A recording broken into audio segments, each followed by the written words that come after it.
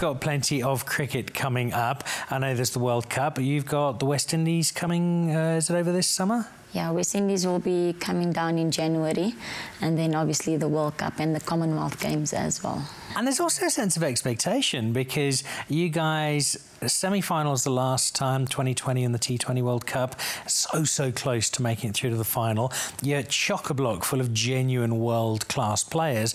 It's no longer we hope South Africa would do well. We're expecting you to do well Shabnim yeah of course. Like I said we've got a fully fit squad now so we're going with the strongest team now. So not hopefully we're definitely going to do it this time around.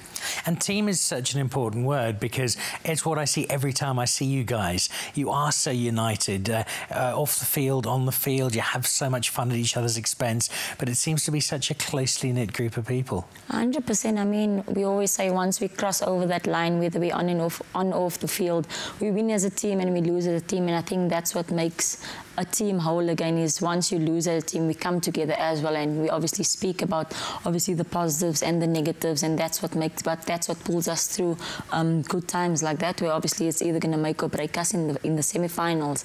But I I know for sure that once we go to this World Cup, the ODI World Cup, I know that we're going to do it for sure.